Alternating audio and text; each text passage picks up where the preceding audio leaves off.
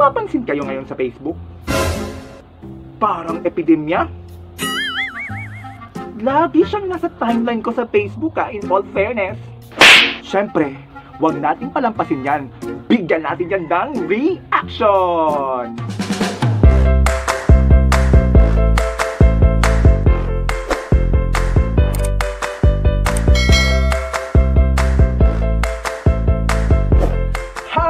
Welcome back sa aking YouTube channel! Ako pa rin po ang inyong kasama ngayon.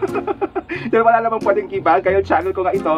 O naman, syempre, ako po si Samuel Kent, lagman ng batlang hindi mayaman at walang kagandahan, ngunit ang hatid sa inyo ay kasiyahan. It's another day and another special vlog, dahil lahat naman ng vlog ko ay special dahil kayo ang ating nakakasama. And of course, maraming maraming salamat sa lahat ng suporta at sa lahat na nag-subscribe. At kapag ikaw hindi ka pa nakapag-subscribe at bago ka sa aking channel, please hit the subscribe button and hit the notification bell para ma-inform at malaman mga mga latest na kaganapan at kaguluhang mangyayari sa aking channel. At yun na nga, may napapansin na ako lately, ah, siguro mga 3 days ago or a week ago, na marami nga ang kumakalat ng mga pictures nila dating pictures at ang mga pictures nila ngayon. Kaya nga, I think they deserve a reaction and of course, lahat na naman po ang kinuha at pinaparticipate ko dito sa aking vlog ay yung mga friends ko sa Facebook who participated in the thread challenge of their pictures from high school versus now. Let's begin the reaction. Exciting to guys. In 1, 2, 3, laban!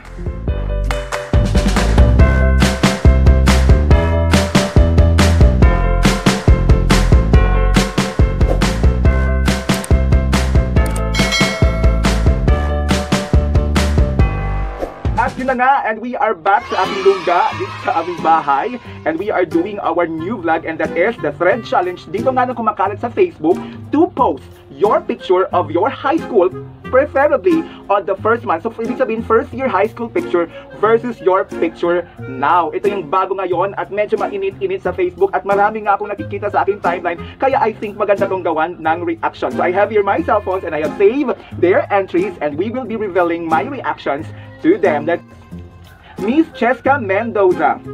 Ay, In all fairness, ang laki ng changes ha, Miss Cheska. Miss Cheska is part of the LGBT community ng Zamboanga and you look prettier at nung una, nung, uh, nung high school ka, parang hindi ka masigurado talaga Miss Cheska dito if talaga bang ipupush mo ang pagiging isang queen. Yun lang naman ay yung akin. In fairness, ang laki ng changes. Oo, in fairness. Pero, I miss you, best. I super miss you. Ayun, sige. Kita-kita na lang tayo after this COVID thing. Okay, next! Judy Ann Ebol. Oh, nung high school ka, may kamukha ka noon sa mga first batch ng, ng Going Bulilit. Oo.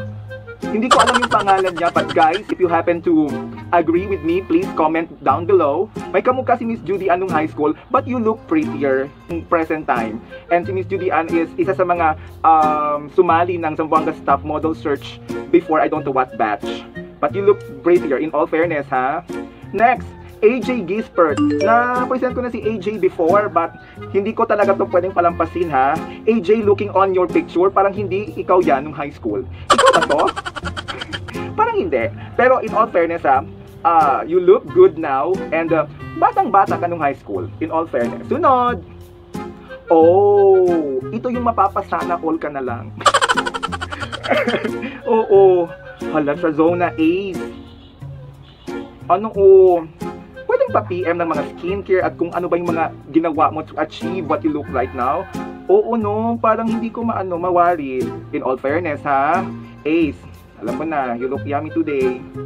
Mm. Sige. In all fairness si Ace, ang laki ng pinagbago ha, the skin color, yung itsura, iba na siguro talaga pag, syempre, you know, mapera na at ay naku. Sunod, Mac Hill Bios. Ah, dati pa pala si Makil, maganda na yung ngipin ni Mac. Even now, maganda talaga yung ngipin ni Makil. And of course, yung kabataan mo, para kang ang ano, para kang very ano, high school ka ba nito? Mukha kang elementary dito, Mac. But of course, you look hotter, you look yummier. Ayun, in fairness. Sunod! Glenn, sure ka na na ikaw talaga ito? Oh no! Buti na lang, no? Buti na lang talaga, Glenn. But I miss you, Glenn. I miss everything about yung mga nangyayari sa events. And of course, stay pretty and stay sexy. Pero Glenn ha, wag mo nang ibalik tong high school mo, utang na loob. Boris Froilan. Si Boris naman, nakasama ko to nung high school kasi parang naging choreographer ako ng ikanilang cheer dance. Oo, nung sumali siya sa cheer dance competition. Eto na yung Boris talagang nakita ko. Cute! Sabi nga niya dito from the caption, from twink to daddy. Tama naman. Oo, pero I miss you also, Boris. I miss you na. You look good. Gwapo naman talaga si Boris ever since. Sunod, Teti Ibe. Langga, buti na lang nag-isip-isip ka at nag nag-enhance in all fairness. Pero mas bagay kayo ni Dario dito sa kulay mo before nung high school ka. Char! Oo nga. Pero ikaw, ikaw talaga siya. Ang laki ng improvement din ha. Sunod. Oh, isa sa mga pinakamagaling na makeup artist sa Zamboanga and happens to be my closest friend, Elmar. Be, maputi ka na ever since pa pala. Pero grabe din yung transformation and enhan- enhancements mo ha. O pero isa sa mga clear skin, guys, you may PM Elmore and ask him about his clear skin. Grabe talaga ang skin nito. Parang mala porcelana. Pero gwapo ka na be dati pa and you look even more enticing and glowing this moment. Sunod. Yay! Si Chico. Mukha kang ano dito, Chico. Mukha kang babae nung, nung pinisenta mong picture dito. Pero talaga palang chubby ka na before. Ah, in all fairness, gumapo ka. Pero ikaw naman talaga sa Chico. Parang ka lang napag-iwanan sa kusina. before. But anyhow, good.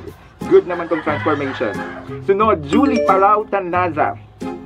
Oh, Julie, ngayon alam ko na kung kanino nagmana si Rian, yung kapatid niyang si Rian. Magkamukha kayo, be, nung high school ka. But you look beautiful today, in all fairness. Isa din si Julie sa mga pinakamagaling na event coordinator now turning one of also the best makeup artist and I miss you so much. Ayan, beauty, in all fairness. Walang halong ano, kaetsosan, ha? Next, hindi kami close dito pero kasi nga dumaan siya sa timeline so go, hit it. Argive, kayo din tayong ito din isa din sa mga napapasana all ka no yung parang magtatanong ko sa kanila ano kayo mga kinakain nila kung anong mga sabon na ginagamit no anong tubig na panligo kasi in all fairness grabe yung transformation na good which is really really good self love is really really important guys sunod Oh, JB Potenciano. Ay, JB, yung high school ka, parang hindi ka rin sigurado kung ano ba talaga, no? Pero gwapo si JB nung high school, in all fairness. And you look beautiful, undeniably.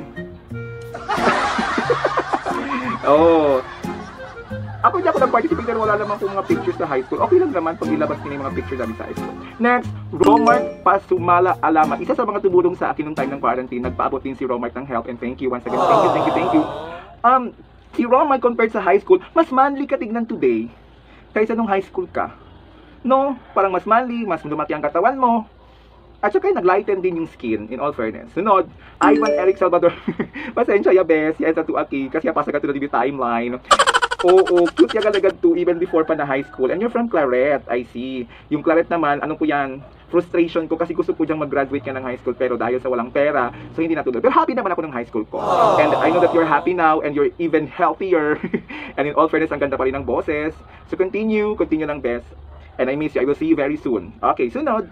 Yung hindi nakasama nung ano, si Rasly J. Clifton, hindi siya nakasama din sa Jojowain na Totropahin. Pero to answer that, Jojowain mo, hala, ang gwapo. O nung high school and now. Even siguro ngayon.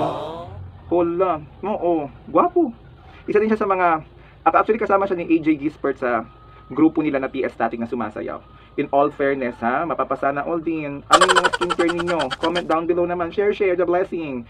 Sunod, Van Steve. Si Van Steve, high school maganda na yung anong ngipin, pero in all fairness, grabe ang changes ha. In terms of sa skin, in terms of sa pagdadala, pagdadamit, at syempre sa build ng katawan. In fairness.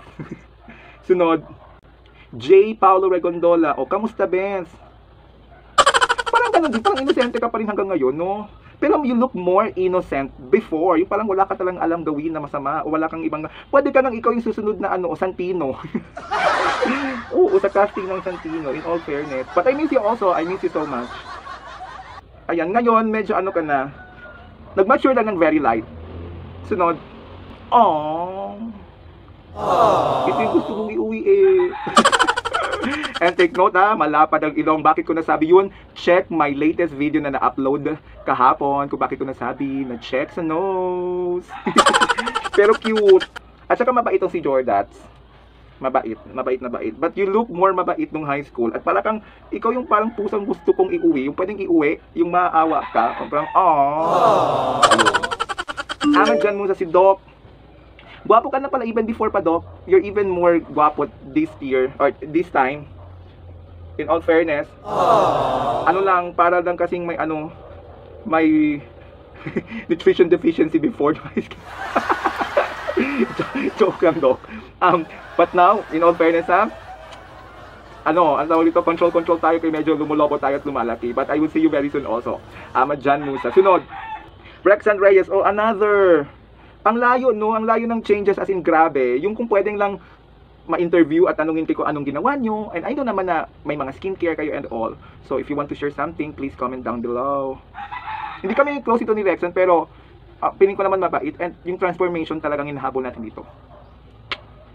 Pinakahuli sa atin dito sa reaction is si Belle. Si Belle na ilagay ko na siya before sa aking vlog, pero I intentionally bring her back kasi para siyang ano dito, casting, pwede siyang isabay sa mga casting sa mga anak-anak anak-anak ni Cardo Dalisay sa ang probinsyano.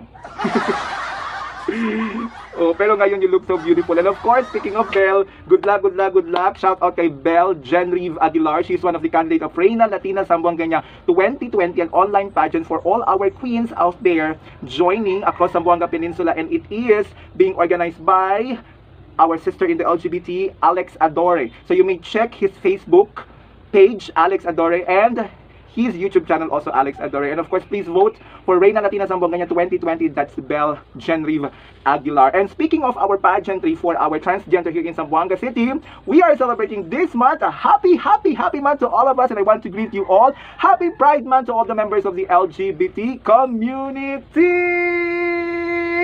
Hope that you are also happy staying at home and staying safe. This has been Silent Kang Tagman, ang baklang hindi mayaman, walang kagandahan, ngunit ang hatid sa inyo ay kasiyahan. Please, please, please subscribe my YouTube channel and please hit the notification bell so that you will be informed sa lahat ng mga kaganapan sa aking channel. Once again, thank you so much to all of you for watching. See you on my next vlog.